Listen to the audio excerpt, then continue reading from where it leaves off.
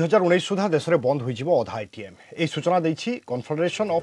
ATM industries বা সিএটিএমআই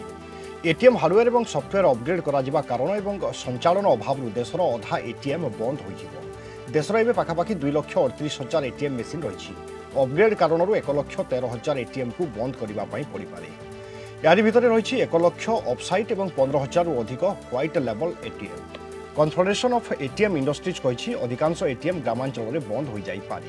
সেভাবে এত সংখ্যক এটিএম বন্ধ হওয়া কারণ হাজার হাজার লোক চাকরি হরাইবার আশঙ্কা প্রকাশ পাইছে।